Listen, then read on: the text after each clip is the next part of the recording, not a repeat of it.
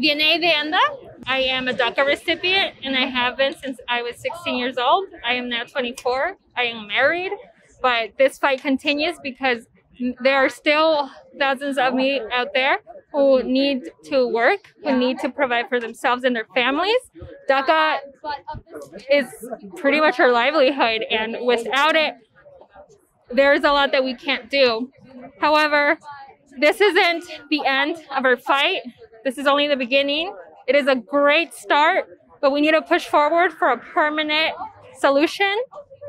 And in Arizona, we need to continue to fight for the defunding of police and stopping the collaboration with ICE and our police departments. I am the oldest of my siblings, and I'm the only DACA recipient. Fortunately, they are all uh, U.S. citizens, um, but I continue to work so that I can provide for them and uh, my mother and my family. The police, the Phoenix Police Department, MCSO, they continue to discriminate against our communities.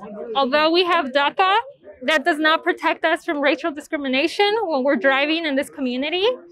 And that is, uh, we become vulnerable to de- being deported.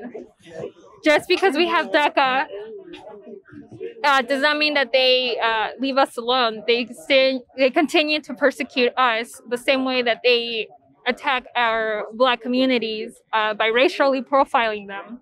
And it's all it's all in the same fight because we are being attacked solely on the base of the color of our skin.